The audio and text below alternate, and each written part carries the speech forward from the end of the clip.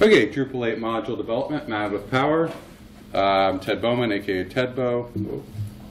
Uh, working on Drupal UX and REST. Um, module developer, trainer in a former life. You guys are, we'd already decided, uh, working on Drupal 8, a lot of you guys already.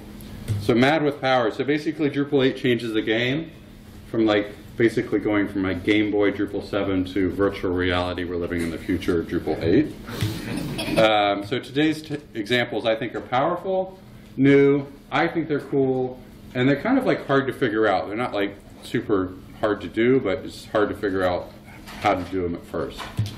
Um, so there is a GitHub uh, repo, just if you Google Tedbow GitHub, uh, there's Drupal 8 Mad Power, and I just have a repo with like a bunch of modules in it, not not each for individual modules, just for demo purposes. So if you want to look at the code afterwards. Um, so we're going to look at object-oriented programming a little bit. Most examples are either either they're object-oriented, they benefit from it, the importance of an IDE, look at base fields in Drupal 8, extending classes, creating condition plugins, and the importance of an IDE. Um, so an IDE and OPP in Drupal 8. Um, Drupal 8 is more complicated, but things are more encapsulated. I think it's more self-documenting in a lot of ways. I feel like it's easier to learn. But most of that depends on you having a good IDE. Drupal 8 is definitely not easier to learn, if, I, I, think, if you're not if you don't have an IDE. Um, so we're going to look at example modules, and then we'll stop and we'll demo them and look at them in PHP Storm, which is the IDE that I use. Um, just basically, you need an IDE that knows PHP, knows PHP classes. So basically, you can say, oh, let me see what the parent class is. Let me go directly to the interface. Let me easily override a particular, uh, see what's overridable in a particular method. So let's look at base fields. So in Drupal 8, everything is a field. Everything's a, pretty much everything's a field. So for example, stuff like node, authored, change, content type. Um, so content type of a particular node is an entity reference field. So all of this was, in Drupal 7, there was sort of difference between properties and fields. Um, but in Drupal 8, the things that you add are fields, and the things that core adds are also fields. So advantages is that all of these base fields can now use the same widgeters and formatters that you're used to for the fields that you add. And they're also that you can configure them on the view and on the form. And you can add new base fields and you can alter existing base fields really easily, which we'll look at today. So also stop me if you guys have questions along the way. Um, so base field examples. Um, node author is a base field, it's an entity reference to a user. Um, and it can use all the entity reference formatters and uh, widgets. So any, any reference widget that you have uh, for a field that you would add, you can also use for the node author. Uh, it's form configurable, but it's not view configurable. So you'll see it on the manage form fields, but you won't see it on manage display by default. Um, so another example of a base field is the user roles, the roles field on users. It's an entity reference to a role. And when I figured that out in when I was first looking at Drupal, that kind of like blew my mind that we now have references to config entities. Um, and it can use all, it can use some of the formatters and it can also use the widgets. So you could actually change it to use a different widget than it does by default. And I think we, we have an example of that in this. Um, it's not, by default, it's not configurable on the form. And it's not configurable in the view. So you don't see this field on the manage form fields or the manage display, but we can change that, and we'll see that today. Um, so let's look at an example module, and this example module is called Real Author, and it tracks who really wrote the content. So we're looking at a situation where you have a site that you have, let's say everybody who's involved actually has a Drupal user account, but not everybody actually logs in and uses their account, say, to post their blog post. Maybe some people are, you know, upper management, they're really important. They're like, I'm not going to bother, you know, here's my Word document, go post it on the site. But we want to credit those people as the real author of the content. So what we're going to do is it's going to separate the Drupal user from the author. And it's going to add a new base reference field, entity reference field, of the target type user, but we could use content. So for the whole, we could say, well, maybe the people who write the articles, who- the actual authors, never actually sign in, and we just have a node that represents them. So we could change the entity reference if we wanted to, to be a reference to content. Um, and we're going to remove editing and configuration of the author field. So the example here is if we're tracking the real author as an entity reference, a new entity reference field, our existing entity reference field we're just going to use as the person who is currently signed in, and that's not going to be changeable. So you can't say, I'm going to sign in and I'm going to say the author is um, Joe, but Ted's signing in. So do you guys understand sort of the problem space of why you would want to do this? Sort of common use case in Drupal. Um, so uh, this module implements uh, hook, hook entity base field info. So this would be a hook where you want to add fields to a particular entity type. Um, and we're going to add a new field. That's the entity reference field I talked about. And then it also implements hook entity base field info alter. And we're going to remove access in the form to the author field. Uh, so this is where any of the fields that Drupal adds, so where I said like everything now is a field on entities, um, we have access to change things about those fields. Um, so if we look at this, uh, down at the bottom we have, oh, I can't really see that very well. Back, back, back, back, back. At the bottom we have this real author field. It's an autocomplete field and I think it's also on manage. It's not on manage display for some reason. And the important thing here though is that it's actually on the node, I think this is the node data table. Um, so we have um, NID, VID, type, um, and we have, we can actually add fields just by doing that hook. So we're not actually doing a schema hook where we're saying we have a new field, like a new database field. We're just telling Drupal we have a new base field. We don't particularly care how it does it, but we know this would be more efficient than say like a join if you're saying, well, this is something that's driving our whole site is figuring out who the real author is. Then you do have the advantage of this being on the same table. Um, so is this object-oriented example? Not really, it uses old school hooks, but it does benefit from the fact that we have Drupal classes. And so let's look at the code and why we are still benefiting even though it's not object-oriented too much. So Drupal 8 with power.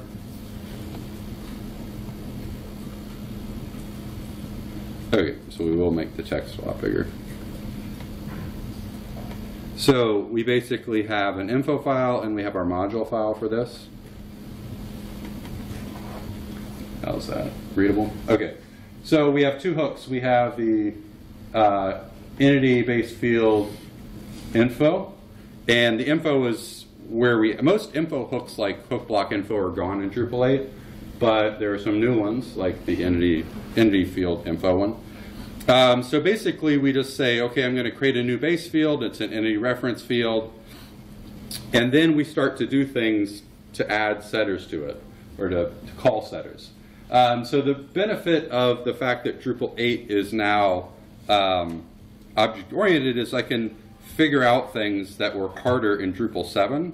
Say if I didn't know what hooks to implement, or what maybe a hook expected a whole big array for me to send back, and I didn't really know what was in that array.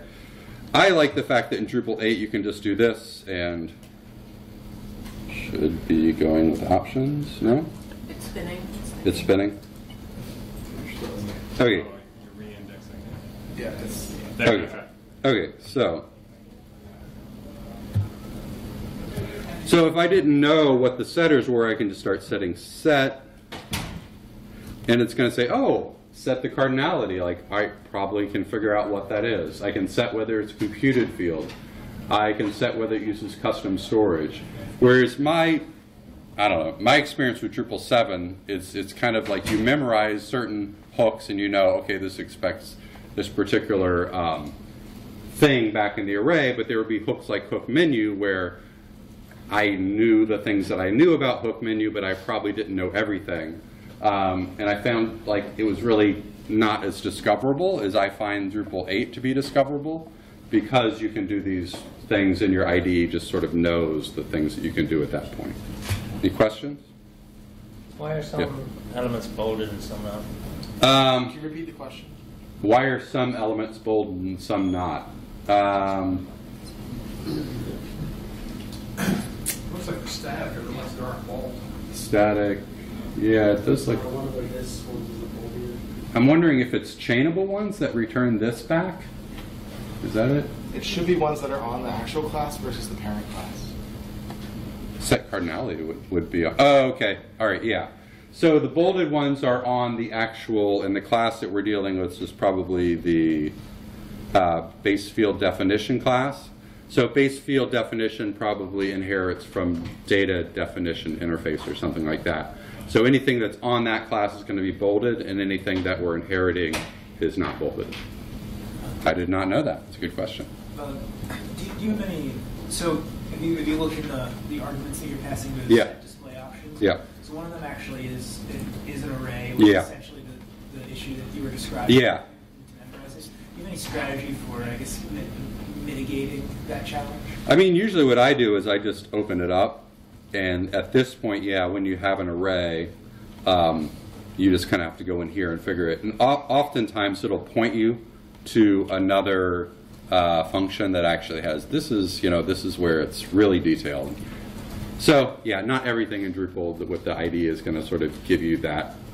You are still dealing with arrays, but um, at this point, then I would go to set display options. You know, I would find that interface and see, you know, maybe it's more detailed there. But yeah, there are some points where you just have to go to the PHP docs and, and see what it expects. So, yeah. I don't think there's a, yeah.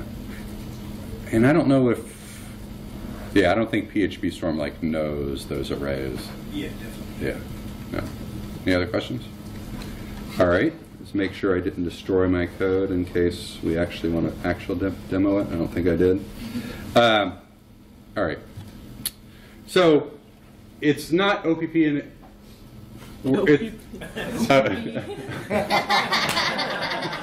it's not OOP in the sense that we're not making classes, but we are benefiting the from the fact that Drupal 8 is more class oriented. Um, so other ideas is you might add a term referenced um, directly as a base field to say to say nodes if you have like a single value term reference that sort of drives your whole site and you want it to be more performant.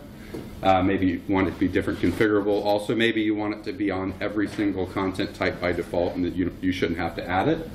Um, you could add a user reference to a taxonomy term that sort of signifies owners. You could add a, a date time field. We have created and we have um, we have updated, but we don't have like a first published date. So you could add that to nodes really easily to add a, add a field that records this was first published on this date, regardless of whether it was published or unpublished. Um, uh, date time, you could also add like the user was blocked at this particular date.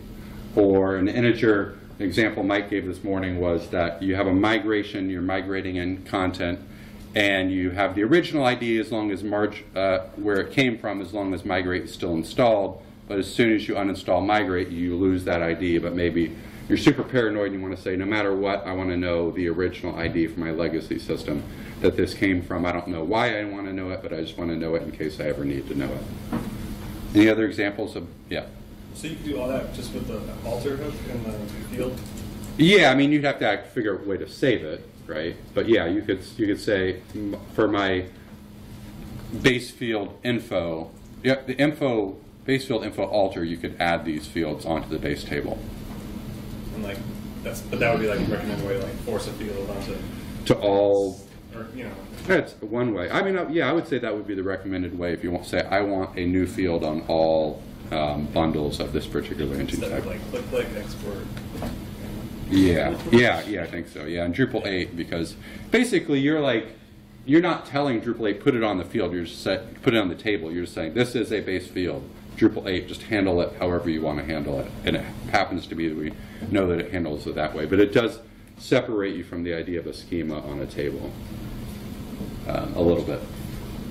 Yeah. Well, yeah, I'm using it um, because I'm building a system where the the um, site builders or the end users can like add bundles, and I don't want them to not add important fields that they're going to need on each of the bundles. So it's not a matter of like, you know, oh, it took me a couple clicks. It's like I'm not going to be there when they're Yeah.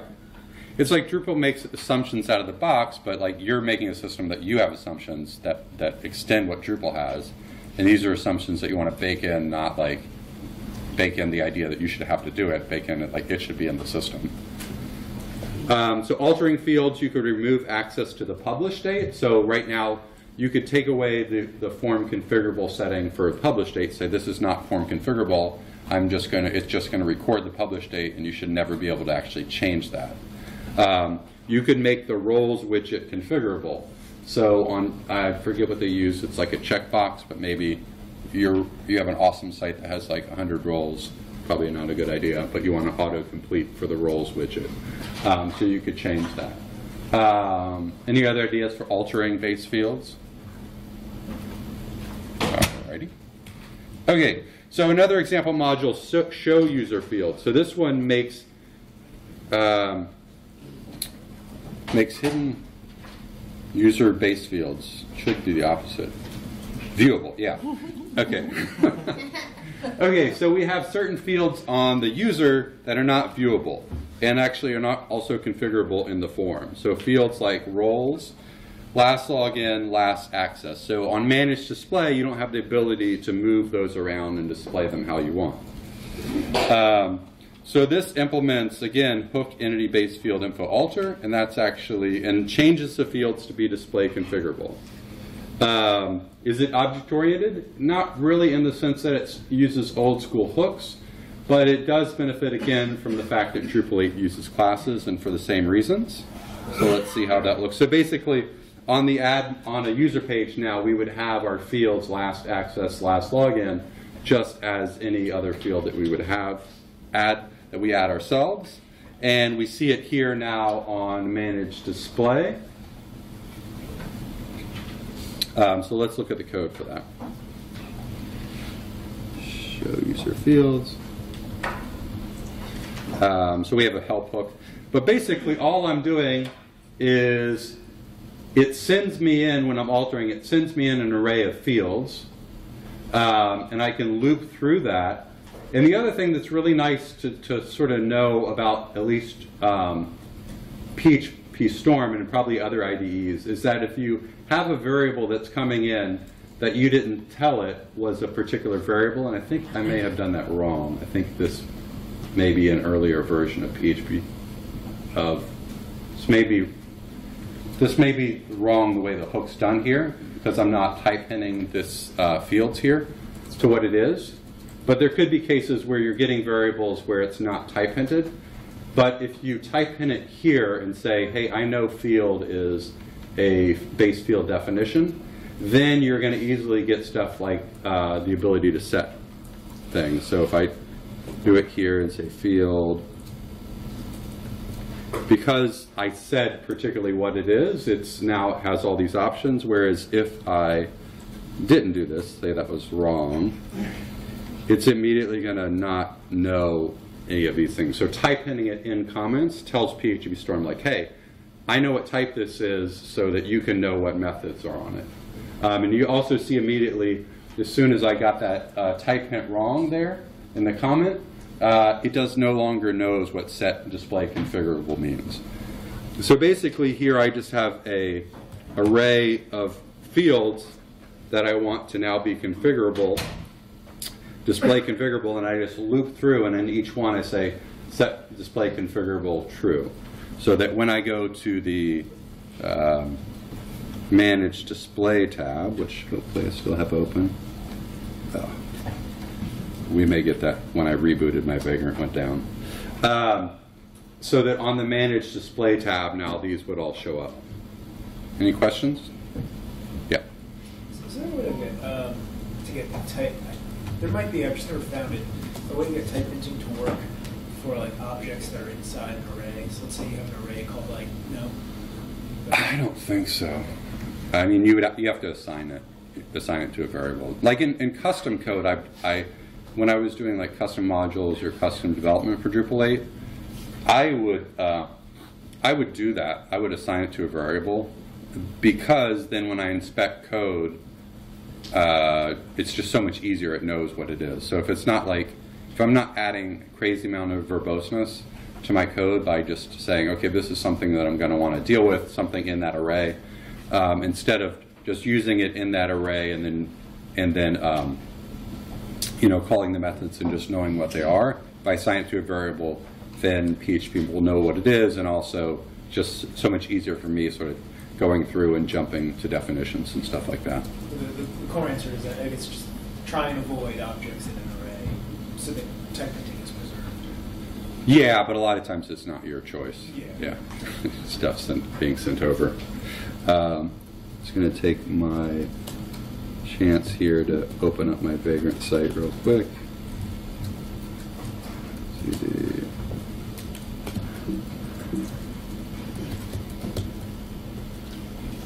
Okay, back to the slides.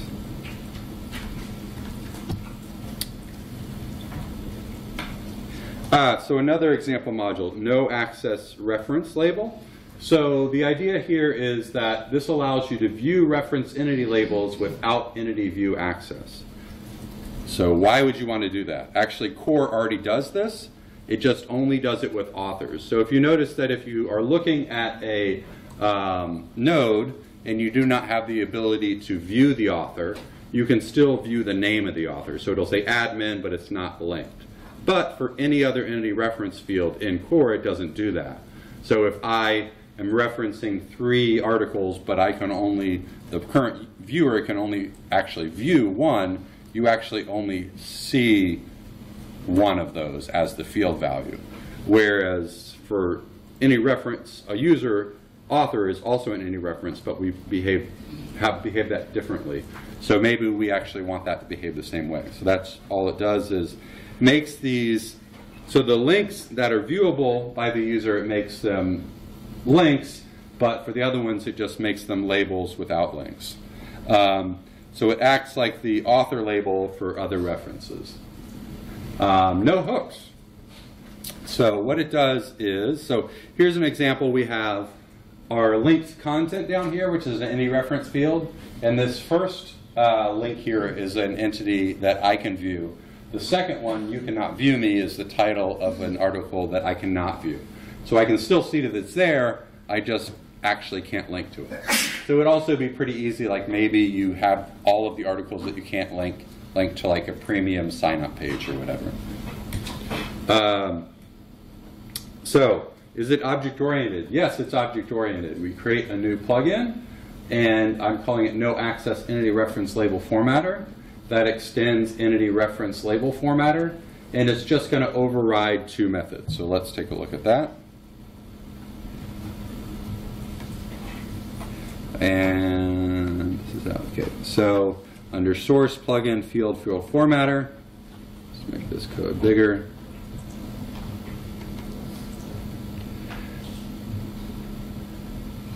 So we have, we're extending, so basically, I see that in a lot of cases in Drupal 8, if there is a formatter or widget that you think, well, this does almost everything I want, but I want it to act, behave a little bit differently, you can just take that class, figure out what that class is, and just extend it. And then maybe if it doesn't make sense to extend it, you can see, you know, what does that, um, what does that class extend, and then maybe I'll extend its parent. So for this one, um, so here, I don't know why I put the check access because I'm just doing the parent, so that doesn't actually need to be there. Um, I'm just overriding the view elements. And so the parent, what the parent would actually do is it says, okay, do you have access to this? If you don't have access, we're going to take that away from the view. But what I'm doing is say, okay, do you have access? If you don't have access, let's just make it plain text. If it does have access, let's make it actually um, viewable as a link. So I'm not going to go through all the code, but that's the idea is what I would do is I would go to the parent, probably just copy the parent completely, the, the particular method that I want to override, and then change just the small things that I want to override. Um, and then I extend, I have to override.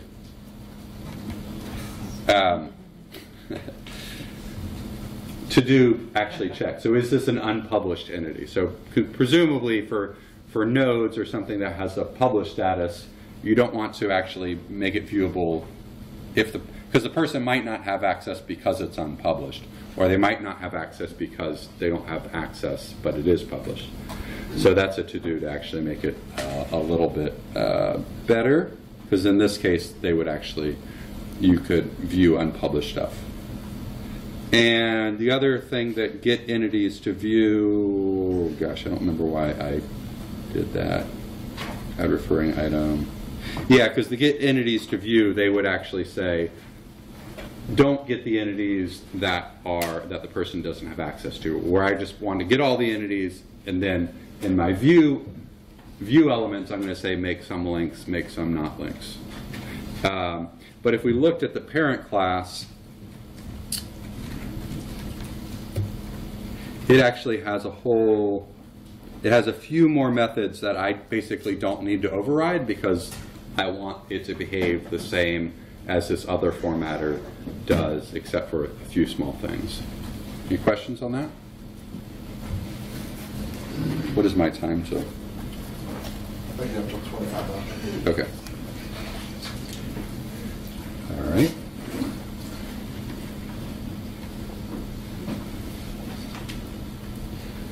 Okay, so we're going to look at, um, so implementing a plugin, usually what I do is if it's a formatter or a widget, I find a similar plugin, you know, can I extend it? Is this basically, do I want all the functionality plus something? Or do I want all the functionality, but part of the functionality just tweaked a little bit? If I can't extend it, I would look at its parent. So in the case of the um, entity reference label formatter, if I didn't, if I figured it's far enough away from the label that I don't want to extend it, there's actually like an entity reference um, base format or something where the um, rendered entity, the label, and I forget another one, the ID, they all extend from this base formatter. So I might want to go up to the parent above the format that I'm currently looking at and seeing if I want to extend that one or maybe one of the siblings. Um, and also like investigate the, the interfaces. So see what interfaces it implements and see what other classes implement that.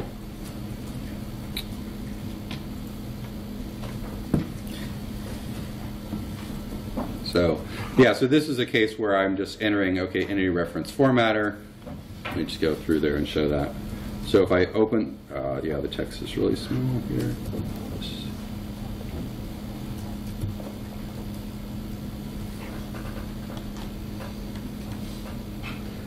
So I'm going to play with fire and actually try to change my better.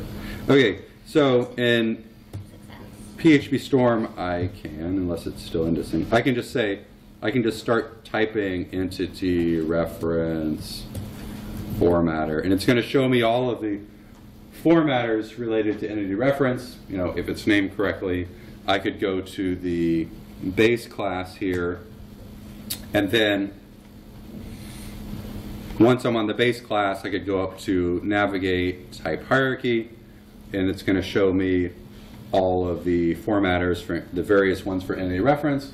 We can see or here that we have that author formatter. So basically I was saying that author behaves the way that my new module does as far as lets you see entities that you can't, lets you see the, the non-linked labels of ones you actually can't see. So that's where I got the idea for the entity reference no label. Um, there's a hidden, oh, that, that's mine. Hidden, hidden author formatter is also one I was thinking of. Um, entity reference label author, and then it shows the one that I extended here.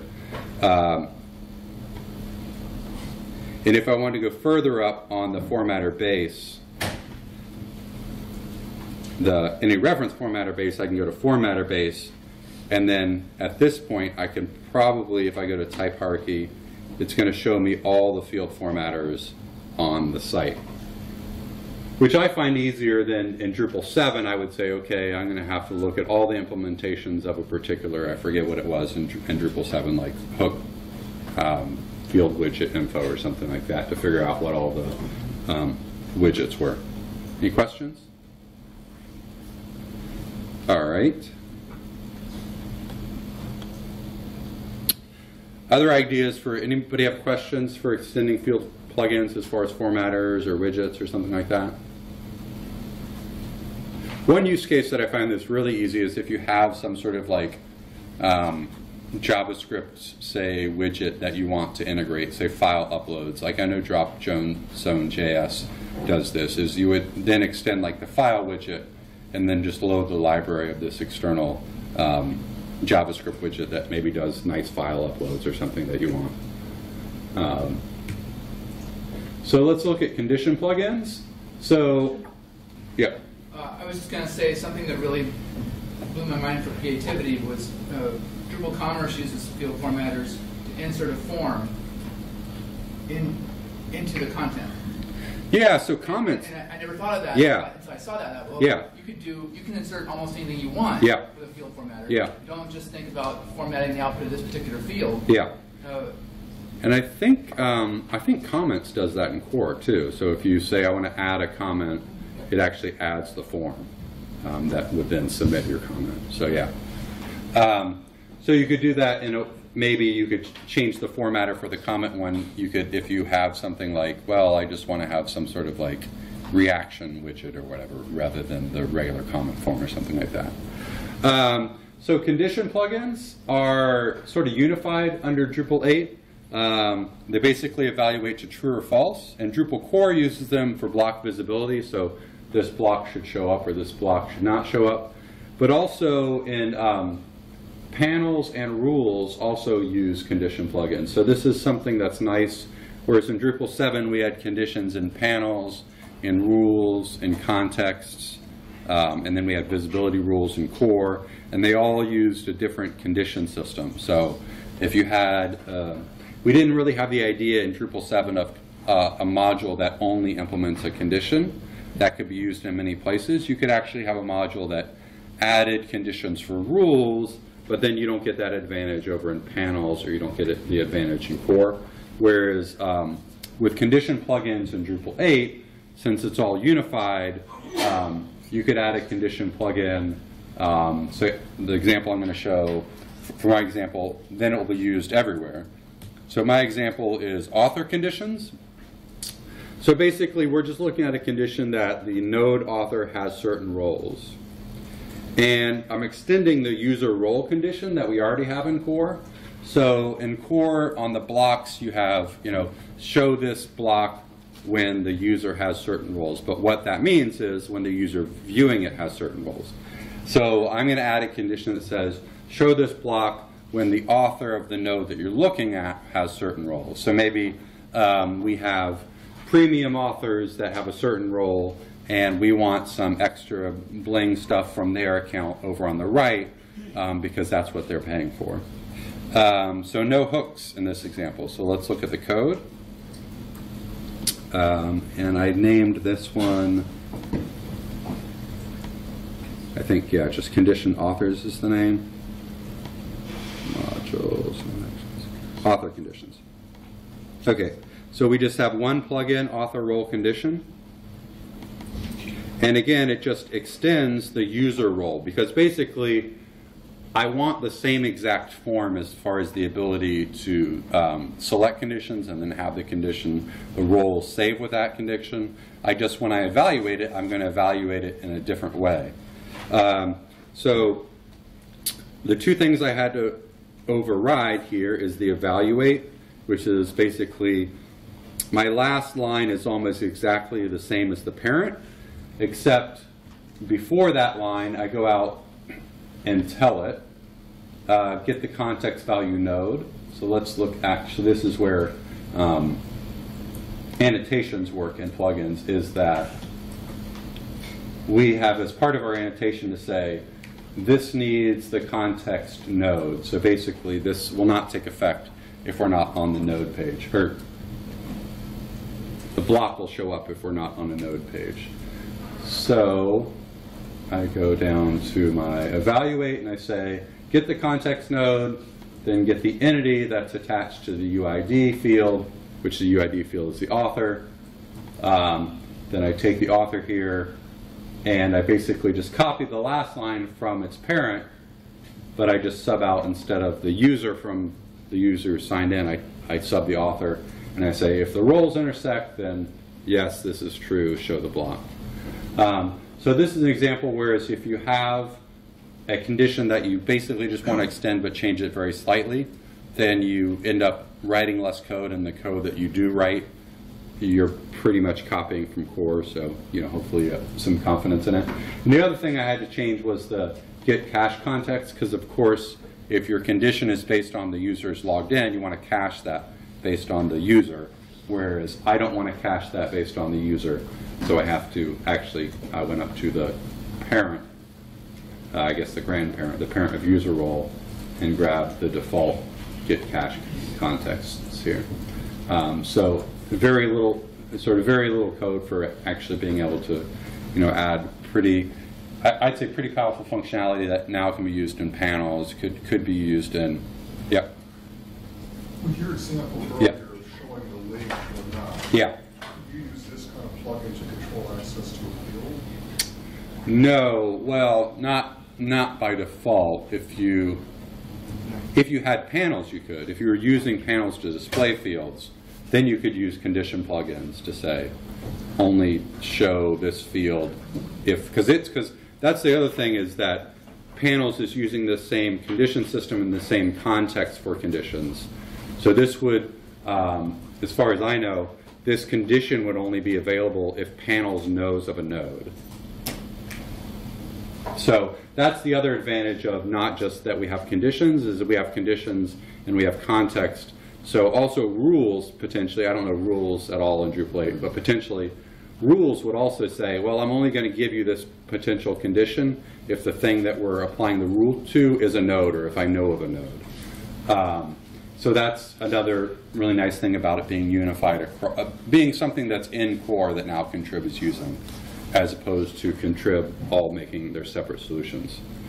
Um, so yeah, it's a pretty simple one here. Um, the other thing you could do is you could say, well, instead of going off author, if it's a particular site where it's your site where you know you have a particular field, you could actually say only show this block, say, if an entity reference that goes to a user has a particular role or something like that. Um, questions about that? Yeah. Uh, Is there any way to, I don't even know what to call it, to plug in discovery to know, not, not like what methods are implementable in a plugin, but what plugins can be created? There's a form plugin, there's a. Oh, plugin. yeah, so sort of. Uh, so if I go to the user role plugin, so basically just go up the chain. So I'll go to user role plugin, then condition based plugin, and then to executable based plugin, and then content aware plugin, and then go to plugin, then plugin base. So basically, I could go from the hierarchy here, from plugin base, navigate down in the type hierarchy, and So, it's so obvious now that you showed it. yeah, so I can go down. It's like, oh, I have, uh, Thank you. I have Llama plugin. I wonder who put that in. Um, I have editor plugins, Drupal image cache plugins. Uh, so actually, there aren't many base. Oh, so there's a lot. Say Plugin probably. base has a lot of Plugin. Yeah, Plugin. Plugin. component plugin base. There's a core plugin base two down from where you're selected. Uh, one more. No, down. Yeah, That- there you one go.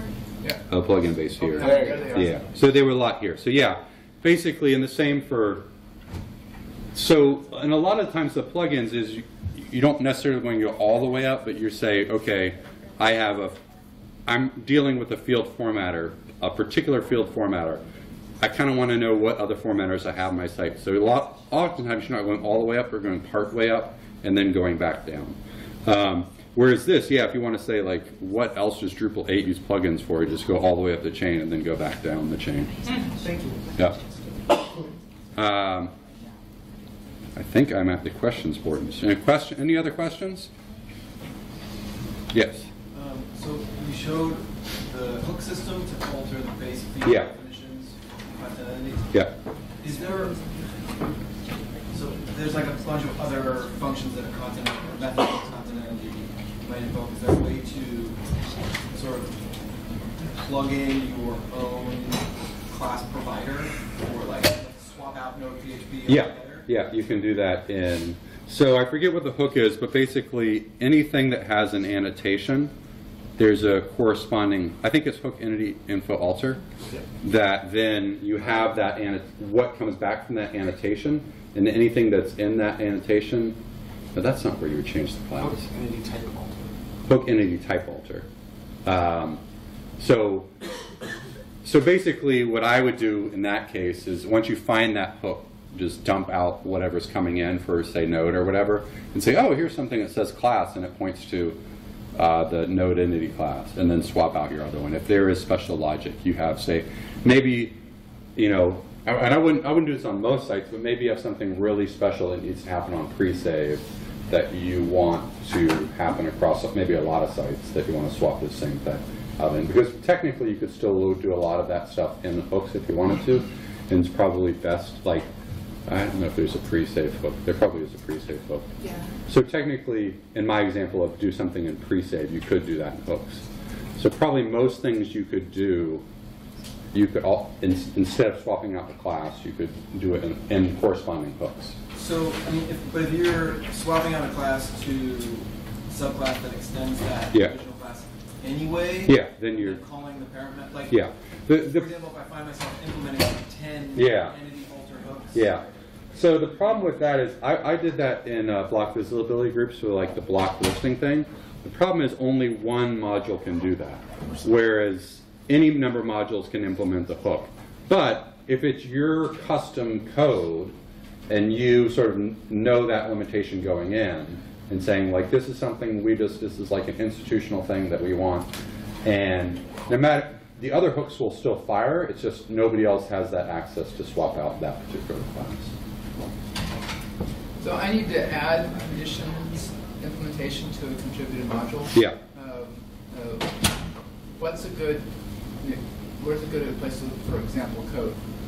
Your, your, your block visibility groups or something in core? So block visibility groups doesn't actually, only has one condition. So you want to add new conditions? No, I want to, I want to add the ability to evaluate and respond to conditions. Oh, oh like you want to do something like block visibility groups where you, yeah, block visibility groups is a good one as far as like, okay, this one evaluates. It's probably one of the simpler ones. There's a lot of them that do it, but um, most of the ones that do it like rules or page managers or panels are just, there's a whole bunch of other stuff that's happening, whereas block visibility group, that's almost the only thing that's happening. It's a, So good, it's a great example. so that's probably good. he wrote it, so he's not taking credit. Great example. Just because it's so, it's very simple, um, whereas it doesn't have a whole lot of other stuff going on. Do you have that, do you have that in in a specific class will be easy to find? What's that? Can can you show me after where it is? Uh, that's just block visibility groups if you, um, for Drupal, if you Yeah, I Google know the module, I just wanted. Yeah. Oh, yeah, yeah, I can show you the class, yeah, yeah.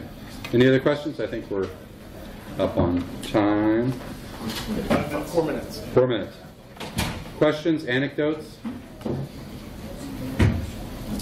All right, I'll give you four minutes back to your day. All right, thanks for coming.